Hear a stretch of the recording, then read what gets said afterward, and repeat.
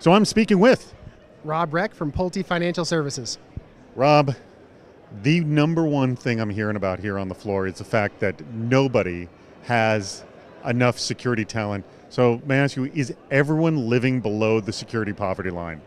You know, I, I think that the model of going out to the market, finding a an experienced security analyst, an experienced security engineer, that's really not going to work. All we're doing is just stealing from each other. The uh, the solution, of course, is to find the folks who, are, who have aptitude to learn, willing to learn, train them up. I don't think that it's really a question of, you know, can they go buy the most expensive tools? You can make a secure environment without going out and buying all of the things that our wonderful sponsors back there are selling.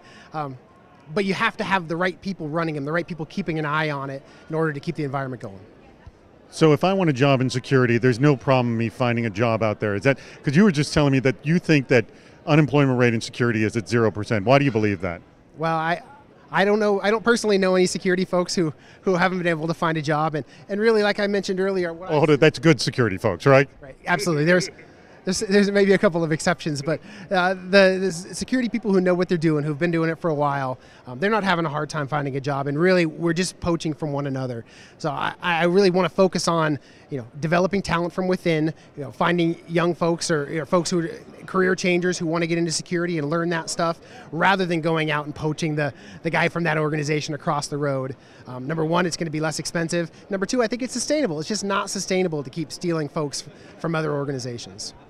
Could part of you know growing beyond the security poverty line have to do with training talent that is not ever going to be in security just to be more security minded?